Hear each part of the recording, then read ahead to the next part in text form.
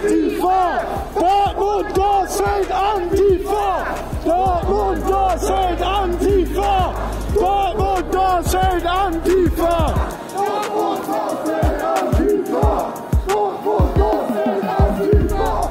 Seit Jahren versuchen die Dortmunder Neonazis und die Partei Die Rechte, das Arbeiterinnenviertel Dorstfeld als ihren angeblichen Nazi-Kies zu reklamieren. Die Stadt hat das Nazi-Problem über Jahre hinweg lieber verschwiegen, während die bürgerlichen Medien lieber Nazi-Kader vor die Kamera geholt haben, statt den Betroffenen rechter Gewalt zuzuhören. Doch der Wind dreht sich in Dorstfeld. Seit Monaten befindet sich die Nazi-Szene im Abwärtstrend.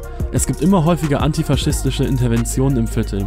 Die angebliche faschistische Bastion bröckelt. Wenn wir nach Hause kommen, seid ihr so nervös. Ist so. Der Hammer ist aber ganz schön kommunistisch, ne?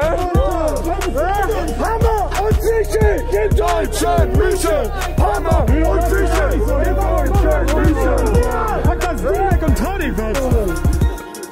Schon, das ist eine fette Erfahrung, ne? Ja! Voll Clown, Alter! Ich bin hey, ich hab immer so große Feste. Ja. So. Wir sind nicht auf dem öffentlichen Na, ganz alleine, ne? Niemand mehr hier bei euch, ne? Alle abgehauen. Verpisst euch. Alter, was denn mit euch?